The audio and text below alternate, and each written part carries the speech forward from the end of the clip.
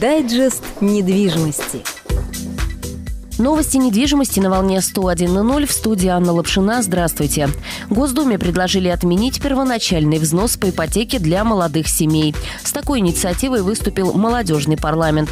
По словам его председателя Марии Воропаевой, на сегодня, чтобы вступить в госпрограмму обеспечения жильем и получить ипотеку в банке, нужно иметь не менее 30% собственных средств от суммы кредита.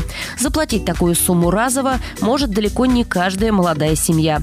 При этом получить Получив ипотеку без первоначального взноса и имея достаточный доход, заемщики могут погасить его постепенно в виде увеличенного ежемесячного платежа, полагает председатель молодежного парламента. Воспользоваться предлагаемой мерой смогут супруги в возрасте от 18 до 35 лет. Инициативу обсудят сегодня. Дайджест недвижимости. На первом этаже новостройки в Урованцево может появиться поликлиника. Публичные слушания по этому вопросу стартовали в администрации города.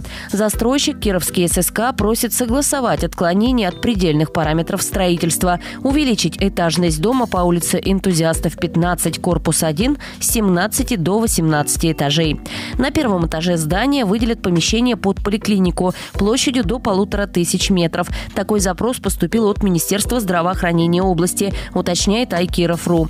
Если решение по слушаниям будет положительным, на земельном участке КССК Вурванцева появятся три многоэтажки. Две по 17 и еще одна 18 этажей. Проживать в них будет около тысячи человек. Слушания продлятся около месяца. Ознакомиться с документами и оставить свои замечания можно в администрации города. Воровского 39, 139 кабинет. Дайджест недвижимости. 12 квартир для граждан, которым жилье предоставляется по решению судов, закупает мэрия Кирова. Общая сумма закупок не превысит 22,5 миллиона рублей, сообщает БН Киров.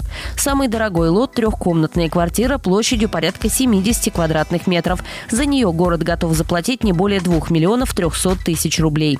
Самый дешевый – миллион 34 тысячи рублей за 30-метровую однокомнатную квартиру. Объекты должны располагаться в черте города, за исключением Ленгасова и Победилова, и находиться в домах не старше 1995 года постройки. Итоги аукционов планируется подвести в феврале. На этом все. В студии работала Анна Лапшина. Дайджест недвижимости.